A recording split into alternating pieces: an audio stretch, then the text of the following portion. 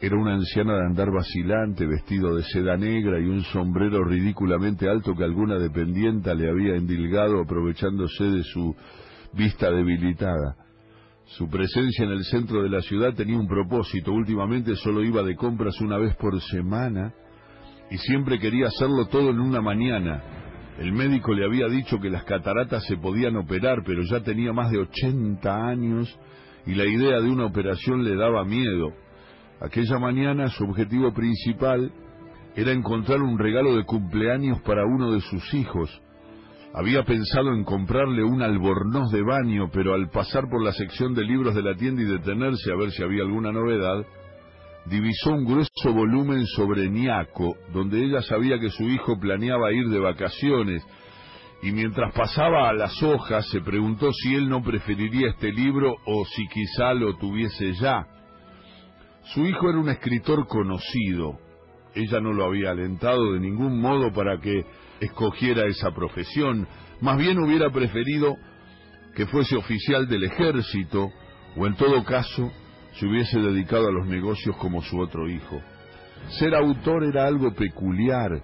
Sin lugar a dudas había existido uno solo en la ciudad del Medio Oeste donde ella había nacido y era considerado como un tipo extraño. Claro que si su hijo fuera un escritor como Longfellow eh, o como Alice o Phoebe Cary, eso sería muy diferente, pero el caso es que ella ni siquiera podía recordar los nombres de quienes habían escrito las 300 novelas y memorias que hojeaba cada año.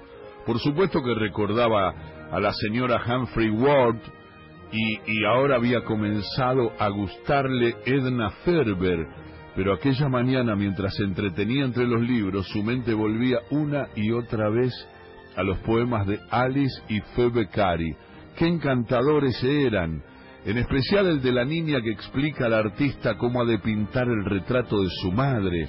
Su propia madre solía leerle aquel poema. Los libros de su hijo, en cambio, no le resultaban vívidos, y a pesar de que en cierto modo se sentía orgullosa de él y se alegraba siempre que un librero lo mencionaba, o cuando alguien le preguntaba si ella era su madre, secretamente opinaba que una profesión semejante era arriesgada y excéntrica, y aquella mañana hacía calor, y como se sintió repentinamente débil tras el esfuerzo de la compra, le preguntó al dependiente si podía sentarse un momento. Él, solícito, le acercó una silla, y como para recompensarlo dándole una tarea, ella se oyó a sí misma preguntar, ¿tienen ustedes los poemas de Alice y Phoebe Cary? El dependiente repitió los nombres. Veamos, Alice y Phoebe Cary. Veamos, no, me temo que no los tenemos. Ayer mismo estuve revisando la sección de poesía. Tratamos de tener una muestra de todos los poetas modernos. Sonrió para sus adentros ante la ignorancia del dependiente. Estas poetisas han muerto hace mucho tiempo, le dijo. Me temo que no las conozco, pero podría encargar un libro si usted lo quisiera. No, no tiene importancia. Se trataba, al parecer, de un joven atento y servicial, y como le gustaban los jóvenes bien educados, trató de observarlo más detenidamente. Las estanterías llenas de libros comenzaron a tornarse levemente borrosas, y pensó que era mejor volver a casa y quizá encargar por teléfono un albornoz de baño para su hijo. Fue al llegar a la entrada de la tienda cuando se cayó. Sí, se cayó.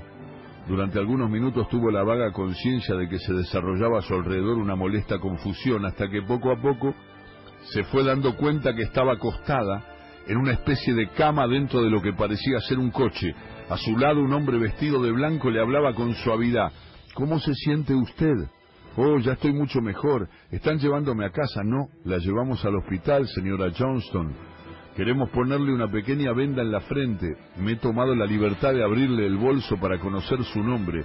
¿Sería usted tan amable de darme el nombre y la dirección de sus parientes más cercanos?